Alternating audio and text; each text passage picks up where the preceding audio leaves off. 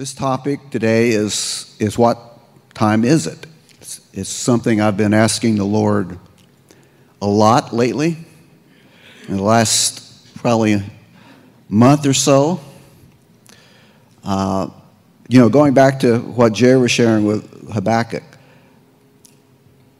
you know, first the prophet's complaining about the society, the culture, what's happened, and why aren't you doing something about it?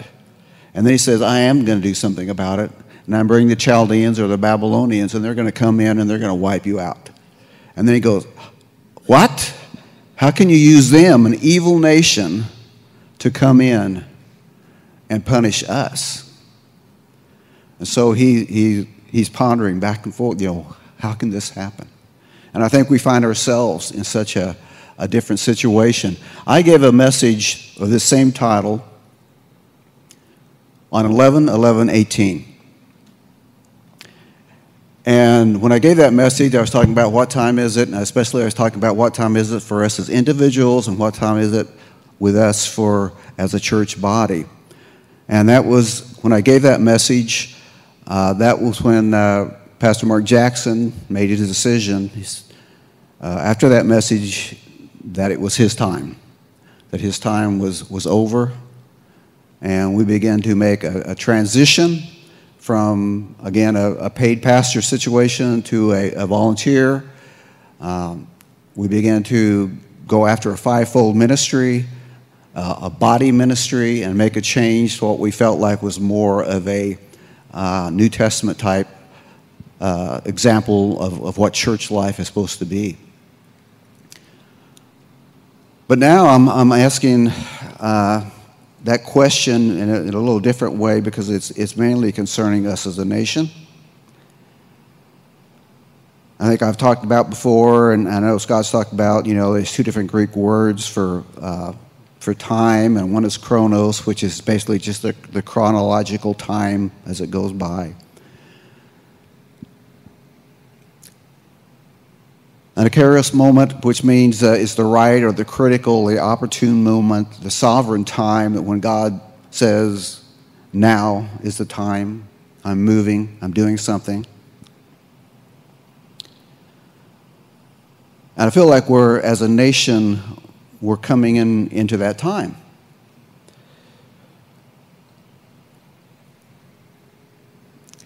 You know, uh, I just read a report from Barna has done a survey of churches, and they say that one out of every five churches will close in the next 18 months.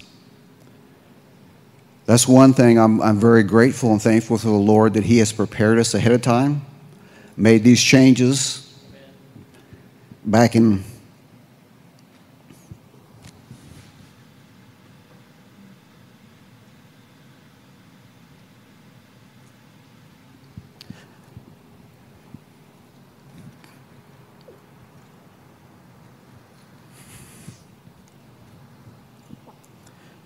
back in 18. I had a uh, interesting. Uh, my son, uh, one of my sons, who who goes to a, a church, um, a mega church in uh, Dallas. It's called Watermark.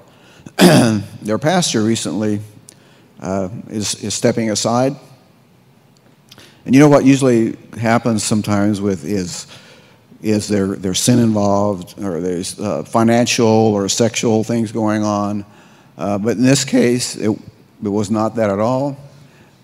He said he's, he's, he's stepping down because of pride.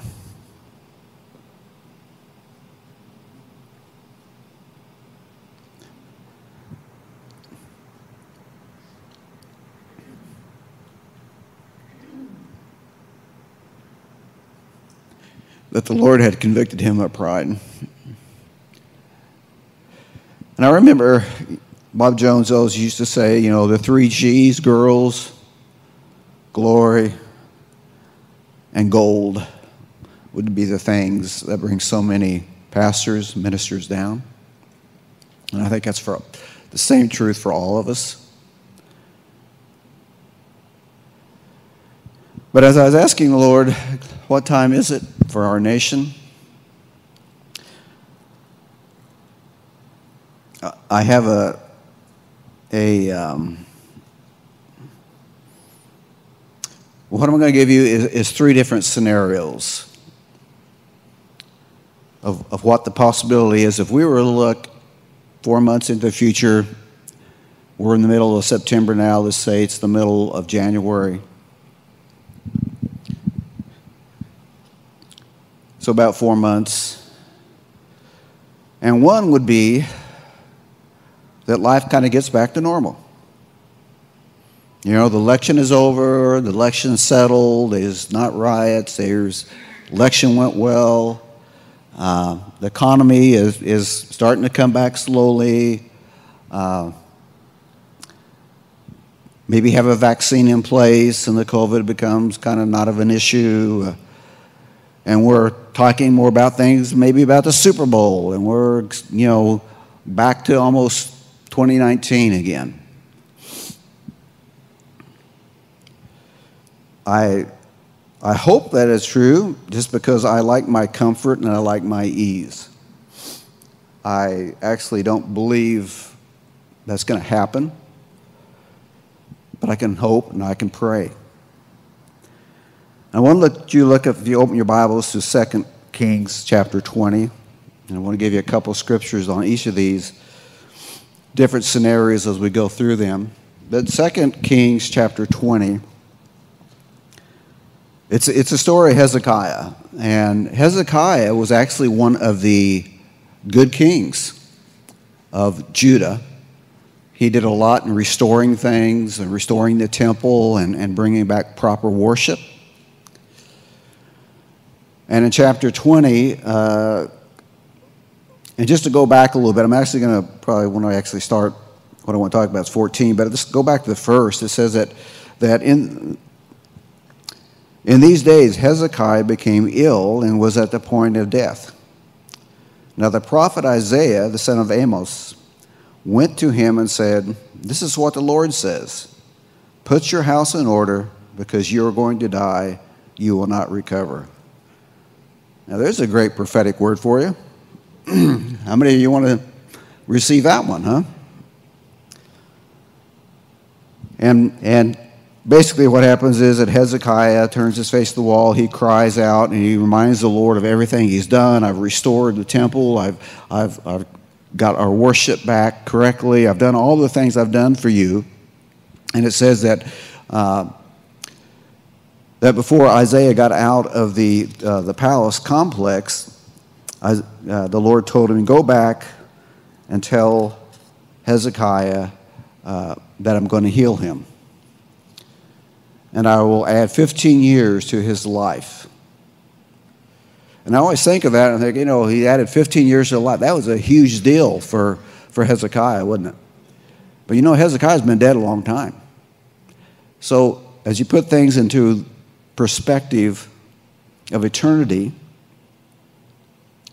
And then he goes on and uh, he says, What will be the sign in verse 8? The Lord will heal me, and that I will go to the temple of the Lord on the third day. And Isaiah answered, This is what the Lord says to you, that the Lord will do what he promised. Shall this shadow go forward 10 steps, or shall it go back 10 steps? Well, it's a simple matter for the shadow to go down 10 steps said Hezekiah, rather have it go back 10 steps. So, if we're talking about chronos, chronological time, the Lord changed time. It moved back 10 steps. Actually, changed the timing of the world.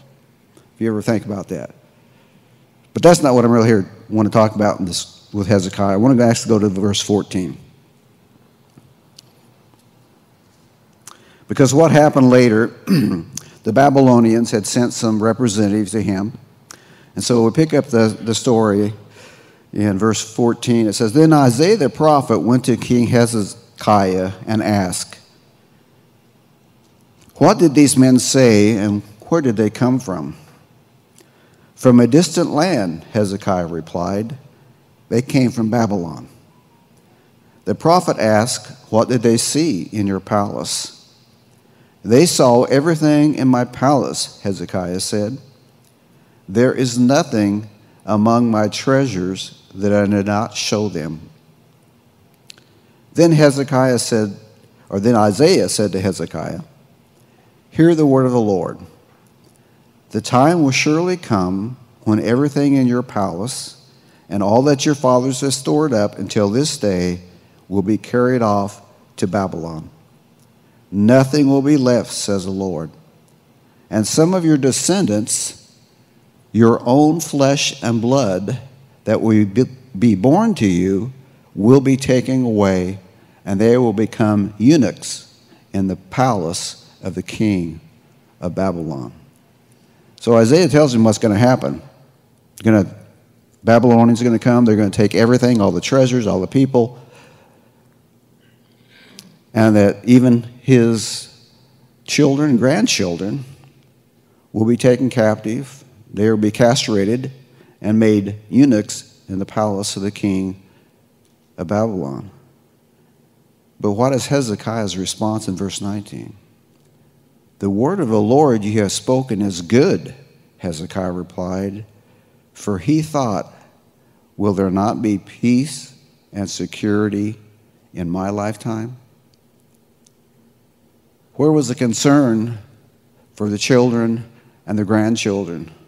If scenario number one comes about, where is our concern for what is eventually coming? that will affect maybe our children and our grandchildren. We don't want to be. Hezekiah was a, a great king, but we don't want that response. Scenario number two. History teaches us that God raises up a nation and he brings down a nation.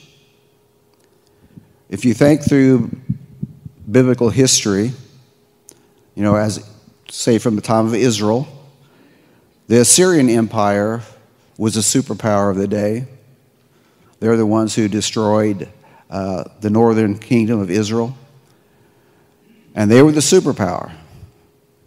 But then, after time, the Lord, as He brings up a nation, He brings another down, He brought up the Babylonians. The Babylonians came in, took over Assyria, defeated Assyria, and they became the superpower of the day. Nebuchadnezzar reigned over all the known world at the time. It says in Daniel that even the animals were subjected to Nebuchadnezzar, who was a he was a heathen. I mean, he was not he was a pagan. And then after the Babylonians came the Medes and Persians, and they defeated the nation of, of Babylon, and they reigned for a while and then the Lord brings Alexander the Great, who conquers the Medes and the Persians and conquered the known world. And, and actually, it's a fascinating story. If you think he, he either died when he was not, uh, 30 or 33, he conquered the entire world. Europe, all the way across the Middle East, into India at that young age. It, it's, it's unbelievable, really, what he was able to accomplish. And so his empire and the uh, spread. And they reigned, and after his death, there were four kings that divided up the kingdom. But anyway, they were replaced by the Roman Empire. So the Roman Empire then takes, and they last a long time, but eventually, as we all know, the Roman Empire falls. I want you to turn to Isaiah chapter 40.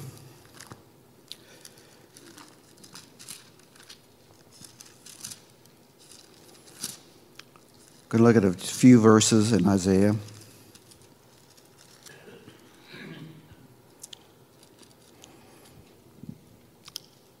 And in Isaiah 40, verses 15, it says, Surely the nations are like a drop in the bucket. They are regarded as dust on the scales. He weighs the islands as though they were fine dust. So the nations are like a drop in the bucket. Drop down to verse 21. Do you not know? Have you not heard? Has it not been told you from the beginning? Have you not understand that since the earth was founded, he sits enthroned above the circle of the earth? and the people are like grasshopper. He stretches out the heavens like a canopy, and he spreads them out like a tent to live in.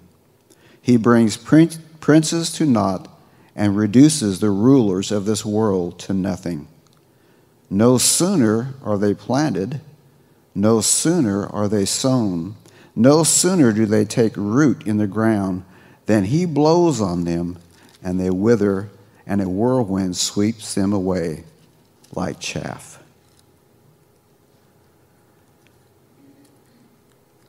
If you turn over the next prophet, Jeremiah, chapter 18.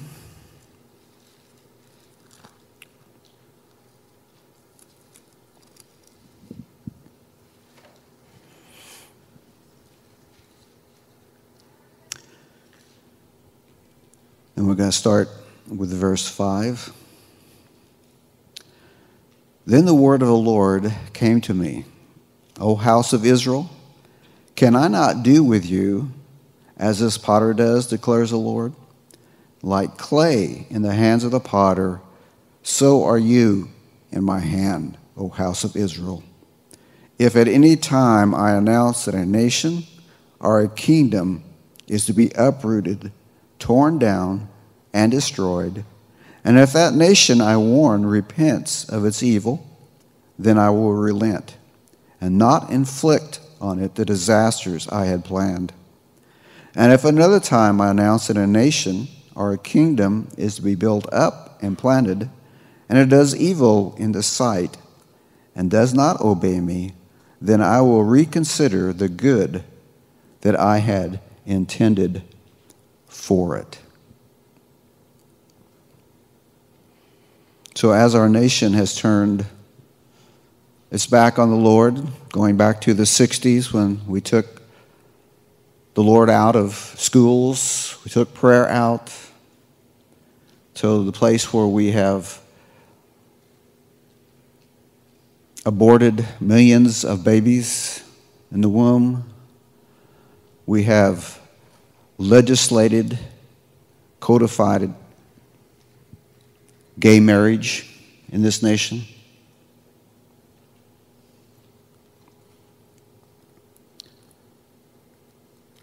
Let's go to Daniel chapter 5.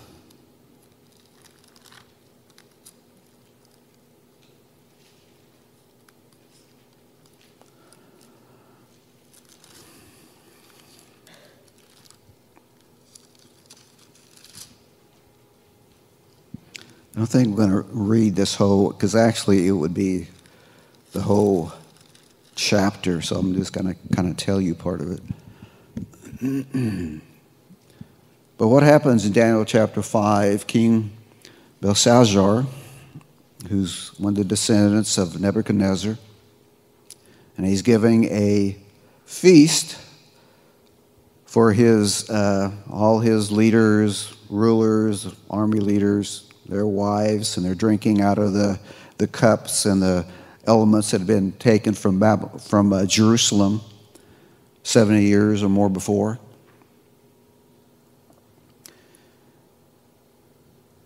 And it says, and this is where we get the, you know, the famous uh, saying that, can you read the handwriting on the wall? Because a hand appears and it begins to write on the wall.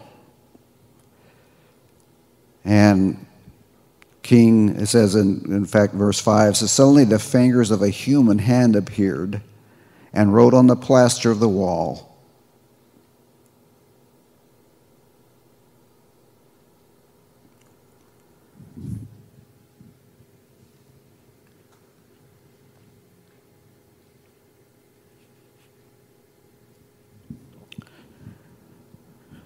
Near the lampstand in the royal palace.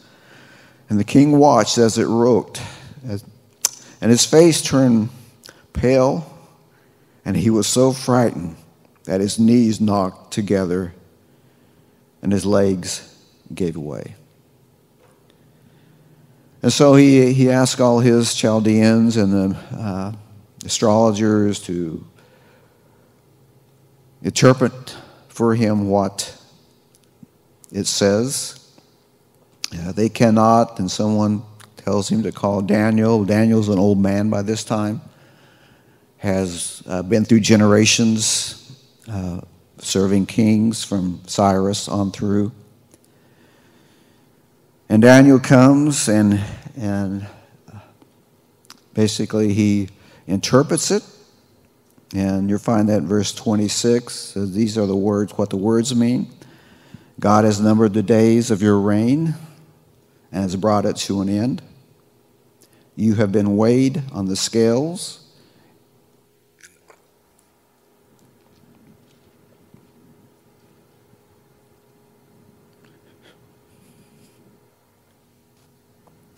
And found wanting.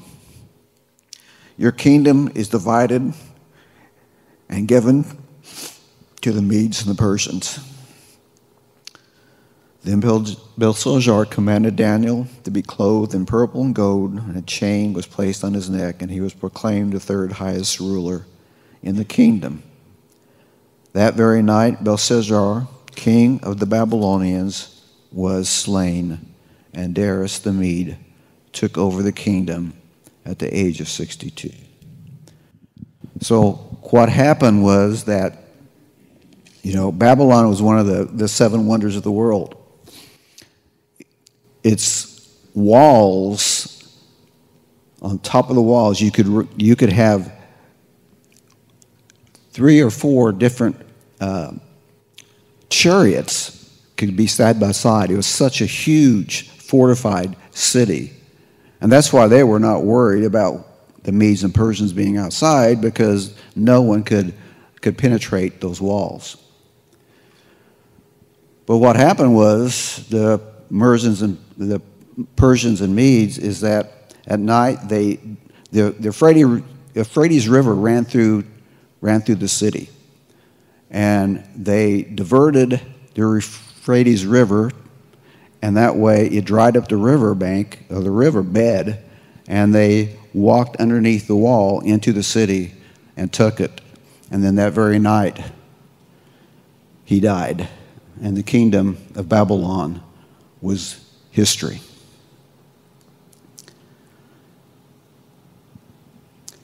Now, you know, for us as a superpower, our military is, is also the greatest superpower, right? But if our economy goes, so goes the military.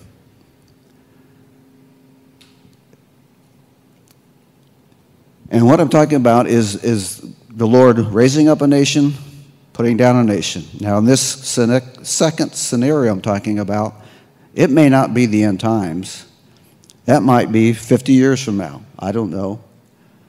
But we, as a nation, are no longer a superpower. Now, the third scenario is much like the second, but it's not just the U.S. Uh, that, is, that is touched by this, it, it's the whole world. Economically, whether that's uh, economic depression or whether it takes the form of hyperinflation, which will bring war between nations, probably limited nuclear exchanges.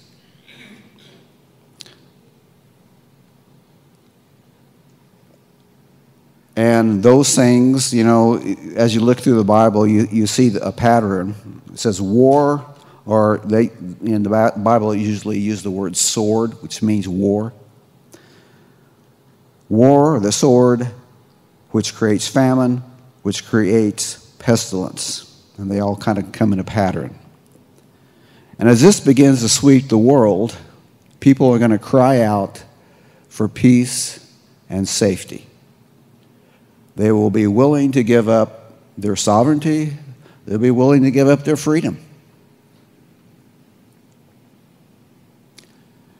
And this prepares the way for a man of known as the man of lawlessness, man of Antichrist.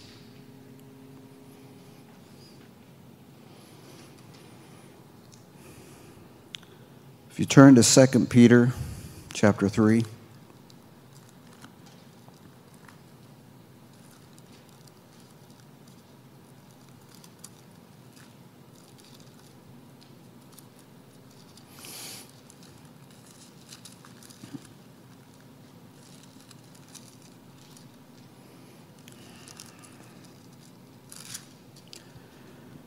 2 Peter chapter 3. We're just going to look at verses 3 through 7. First of all, you must understand that in the last days, scoffers will come, scoffing and following their own evil desires. They will say, Where is this coming he promised? Ever since our fathers died, everything goes on as it has since the beginning of creation. But they deliberately forget that long ago God's Word, the heavens, existed and the earth was formed out of water and by water. But these waters also, the world at that time, was destroyed. By the same word, the present heavens and earth are reserved for fire, being kept for the day of judgment and the destruction of ungodly men. So sometimes we do often hear, as I think even Lonnie mentioned this morning about, you know, well, every generation's believed that uh, they were the last generation. Well, that, that's really not true. They've always been groups of people, you know, somewhere on a mountain believing that the Lord was returning. But no time in the history prior to this generation has the majority of Christians believed that they could be living in the, in the last generation.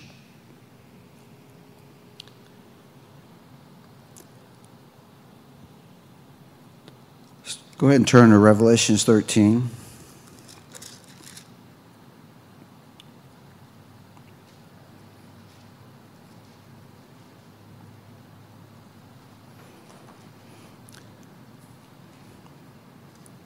There's a couple different times, just in actually in, in, in chapter 13 and, and 14, where the same statement is given. But if you go back in, in chapter 13, as he's talking about the beast, John the Revelator, and he says in verse 7 he was given power to make war against the saints and to conquer them. And he was given authority over every tribe, every people, every language, and nation. All the inhabitants of the earth will worship the beast, all those whose names have not been written in the book of life, belonging to the Lamb that was slain from the creation of the world. He who has an ear, let him hear. If anyone is to go to captivity, into captivity he will go. If anyone is to be killed with a sword, with a sword he will be killed. But here's the key it says, This calls for patience, endurance, and faithfulness on the part of the saints. He's letting us know ahead of time. This calls for patient endurance and faithfulness on the part of the saints. But if you don't know the Word of God, when these things begin to happen and the Antichrist is ruling and he is conquering and makes war against the saints, and he conquers them. Your faith could be shaken if you don't know the Word of God. And so it calls for patient endurance and faithfulness on the part of the saints. And he actually gives the same thing in verse 12, 14. He says, this calls for patient endurance on the part of the saints who obey God, who obey God's commandment and remain faithful to Jesus. Interesting. I didn't think we were going to be here, right? yeah. All right. So, with all those three different scenarios, and as I kind of said earlier, I don't think scenario, scenario one, although I would like that, is going to happen. What is our response to be? So I want to go to Matthew chapter 25. And it's a parable of the ten virgins. So, Matthew chapter 25.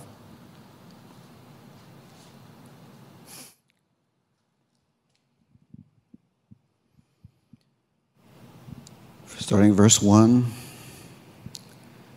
Again, this is Jesus speaking. It says, At this time, the kingdom of heaven will be like ten virgins who took their lamps and went out to meet the bridegroom. Now, five of them were foolish, and five were wise. Now, the foolish ones took the lamps, but did not take any oil with them. The wise, however, took oil in jars along with their lamps. Now, the bridegroom was a long time in coming, and they all became drowsy and fell asleep. At midnight, the cry rang out here comes the bridegroom. Come out and meet him. Then all the virgins woke up because they all got sleepy. They all got drowsy, didn't they? They woke up and they trimmed their lamps. The foolish ones said to the wise, Give us some of your oil. Our lamps are going out. No, they replied, there may not be enough for both us and you. Instead, go to those who sell oil and buy some for yourself. But while they were on their way to buy oil, the bridegroom arrived. The virgins who were ready went in with him to the wedding feast, and the door was shut. Later, the others came. Sir, sir, they said, open the door for us. But he replied, I tell you the truth. I don't know you. Therefore, keep watch, because you do not know the day or the hour.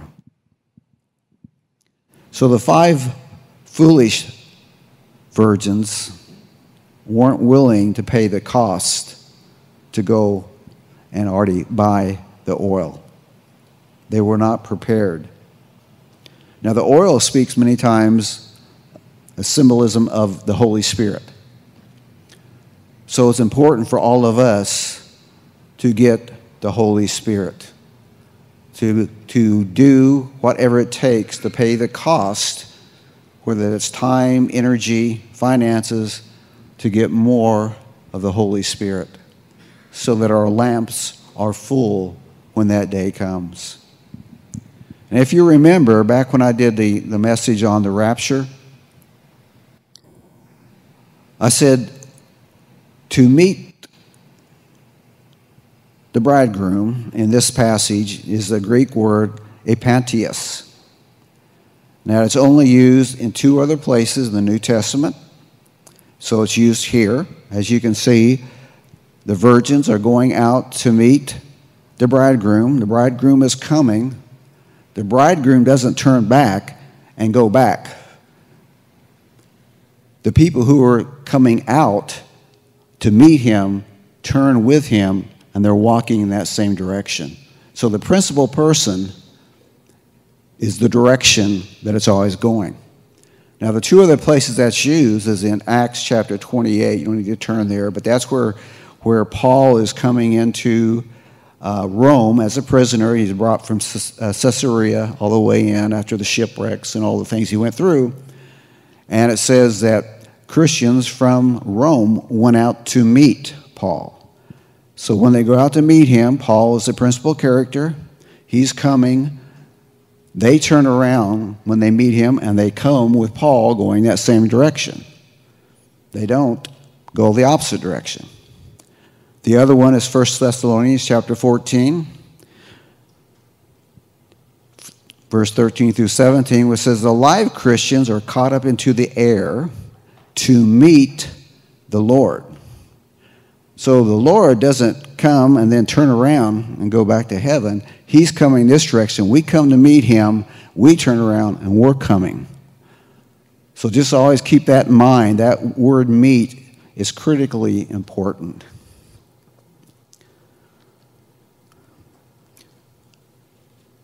One last scripture, Second Chronicles chapter 7.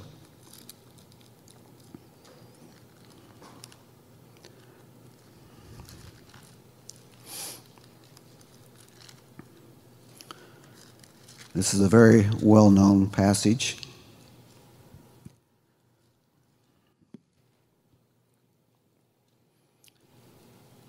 In verse 14, so, what's our response? If my people who are called by my name will humble themselves and pray and seek my face and turn from their wicked ways, then I will hear from heaven and I will forgive their sins and will heal their land. He says, It's my people who are called by my name. It's not the people of the world that are going to repent and suddenly turn. It's upon the church, it's upon God's people that we are to humble ourselves and to pray and to seek his face. So I, I feel like our nation is literally hanging in the balance. You know, we, we all have a, a kind of normal bias in that we think that tomorrow, that next year is going to be like this year. But there's a generation that are going to experience all the things that we read about in Revelations, Thessalonians, through Matthew 24. And I feel like we're coming to a time where it is, again, just critical.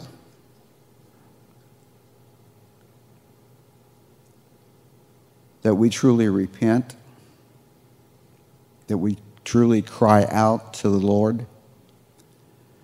And so, what I'm asking you to do is to, for the rest of this month, take 20 minutes, sometime during your day.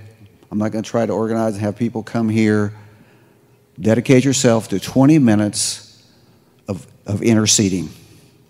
We're coming up on the Jewish holidays of Rosh Hashanah and Yom Kippur. Rosh Hashanah is September 18th through 20th, and Yom Kippur is the 27th and 28th. And it's just a critical time that as we intercede for our nation. And 20 minutes is something I think we can all do. And what I would ask you to do is that you would you pray for the nation.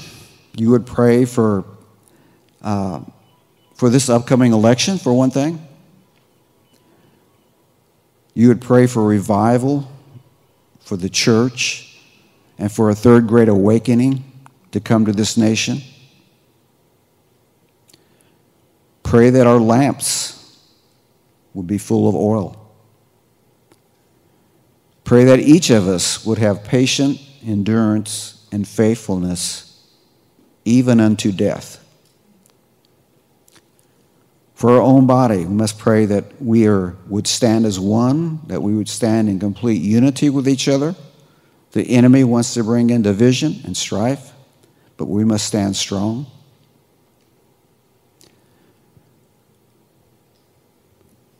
But I believe that's what, what the Lord is saying. That's a, it's a sober, it's a serious time. And it's so easy for us to get to just try to get back to, to normal life and be distracted with things, the busyness of life, and, and not realize that our nation is truly in the balance. And I don't know which way it is. I don't know for sure. Maybe it will come back and thank God will bless us and leave behind a blessing. You know, there's in scripture and different the prophet, says, perhaps the Lord will leave behind a blessing. And we pray for that and we ask for that. And if he does, we don't want to be like Hezekiah was, right? we want to care, we want to pray for our, our sons and our daughters and our grandchildren. But if it's a time where the, the Lord is, is taking down a nation, then we have to be all right with that and be able to be able to be light in a time of darkness. And if it's a third type, third scenario where we are actually entering into, in the next decade uh, of days of end times, of things playing out, then our lamps, we want to have oil in our lamps, we want to have our lights shine brightly. Because when deep darkness, as it says, what in Isaiah 60, Arise and shine, and let your light shine. So it's a critical time. It's a critical day, critical hour. And again, I'm not, my purpose is not to bring fear, but it is to bring a sober reality of the days we are living in. And that we be prepared to be those lights and to have the oil we need. So I would really encourage you just to, to set aside 20 minutes for the rest of this month to pray, to intercede for this nation. And I just thought it was so apropos that, that the Lord would give Jerry that word this morning. You know, it's just like confirmation. It's a sober hour. So I want to pray, Lord, we do intercede for our nation. Lord, I first ask for this upcoming election for favor. Lord, that righteousness would prevail. Lord, I pray for peace. Lord, in our nation. I pray for righteous government, righteous judges. Lord, you says when, when righteousness, a, a nation is blessed when the righteous prevail. So, Lord, we, we long for that, Lord. We, we cry out for that. We say, Yes, Lord. And Lord, we pray for revival. We pray for revival for our own church body, but we pray for revival for the churches across this nation that you would pour out your spirit. Lord, we are so needy. Lord, when you walk in the room, everything changes. And we're longing for those. We're longing for your presence. We're longing for your power to be revealed. Lord, do a work in our day, in our time. And Lord, we pray for a third great awakening for this nation. Lord, you've done it twice on our behalf, Lord. In our past, of our past history, you have turned the nation back. So, Lord, we cry out for that, for a great awakening, for a mighty harvest of souls. But, Lord, if you are bringing a nation down, help us to stand strong, not to fear, but to be of great courage and to be light in a time of darkness. And Lord, if it is that time of, even the time of, of unfolding, of end time events, of the, the coming of the lawless one, of the one world government, Lord, you knew we'd be alive at this time. And while we may not feel we have the courage or the confidence, you knew we would be here and you will give us what we need. So, Lord, I ask that we would be like the wise virgins, Lord, that our, that our lamps are full of oil, that we would shine brightly in a time of increasing darkness. Lord, we love you. We love you, Lord. And we desire the fullness of your kingdom. And Lord, we desire not our will but your will be done. So, whatever the future holds, Lord, we throw our, our lives in your hands. We trust you. We say, Come, Lord. Come, Lord, and do a work in our lives, Lord. Prepare us, make us steady. We ask these things in Jesus' name. Amen. Amen.